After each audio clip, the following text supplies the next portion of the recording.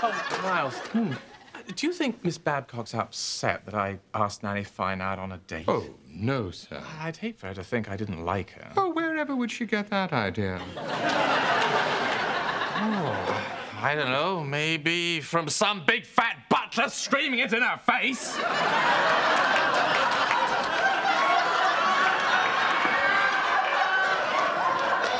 oh, stop it. I know those are bloody tic tacs. Sick to death of the whole thing. I want the two of you to stop behaving like children. Good God, Miss Fine and I, the only two around here behaving like adults. Oh,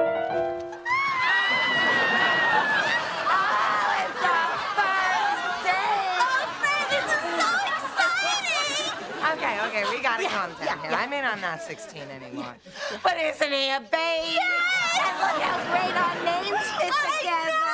Oh, God.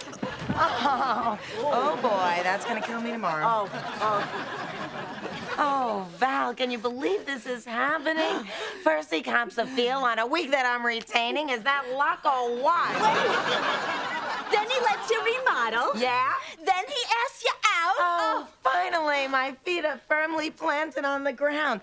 Now I just gotta make sure I speed things up before my tuchus is there, too. Now, you know, I do isometrics to keep my butt firm. You know, I'm doing them right now. Get off my bed, Val.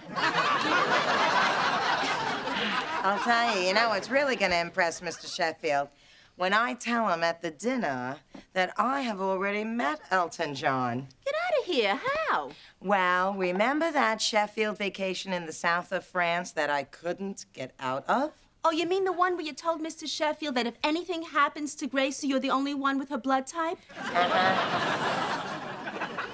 Well, anyway, Elton was staying at that same hotel. I saw him playing tennis and I yelled at him, Yoo-hoo! Always know the perfect thing to say.